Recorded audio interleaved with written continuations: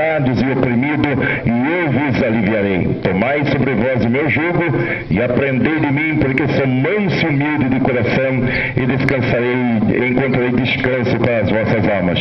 Este convite foi feito há mais de dois mil anos atrás, mas o importante, o que nós acreditamos, é que ele está vivo ainda, fala forte ao nosso coração.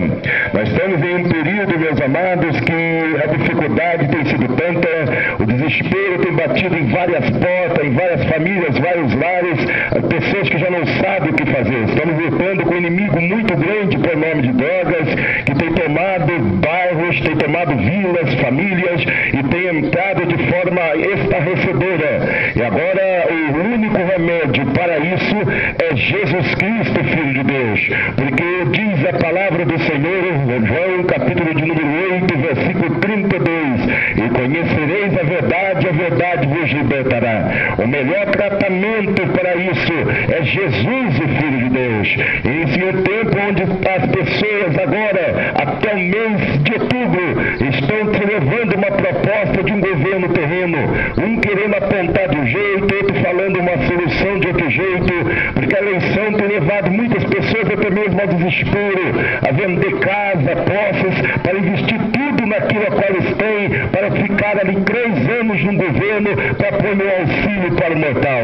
Mas este Jesus, a qual nós estamos anunciando, ele tem um plano bem maior e bem melhor do que um plano de um prefeito, de que um plano de um governador, de que um plano de um presidente. O plano desse Jesus Cristo é de libertar, de salvar a alma do homem e da mulher, pois dentro de nós tem algo que de Deus, e este algo se chama alma, e é por isso que estamos aqui nesta tarde, alegres, porque Jesus está aqui conosco para falar para você que você é especial para Deus, que você tem algo que chama a atenção de Deus, e não é a nossa casa, não é nosso dinheiro, porque Deus não precisa de casa e não precisa de dinheiro de ninguém. Ele quer que nós demos um passo de fé, que reconheça que somente através dele, e somente através de Jesus Cristo, é que nós temos a plena paz e a plena felicidade.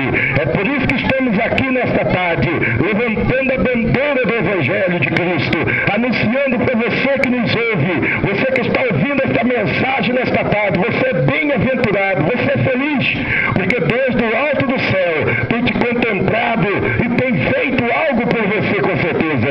E até o final desse culto, com certeza Deus há de tocar o teu coração. Por isso nós te convidamos a você que está cansado de sofrer, fazendo tudo e parece que nada dá certo.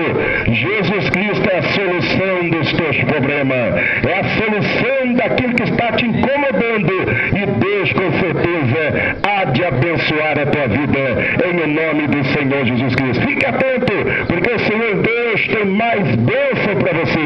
E você é nosso convidado especial a estar um dos nossos cultos, aonde o Senhor Jesus tem abençoado de forma gloriosa, tem feito proezas, tem feito milagres. E se não fosse isso, nós não estaríamos aqui. Nós não estamos representando uma mercadoria barata, nós estamos aqui representando o autêntico, original. E original é aquele que disse: É-me dado todo o poder no céu e na terra que se chama Jesus. Então, nessa tarde, fica atento. O Senhor Deus tem mais bênção para a tua vida e agradeça a oportunidade no nome do Senhor Jesus.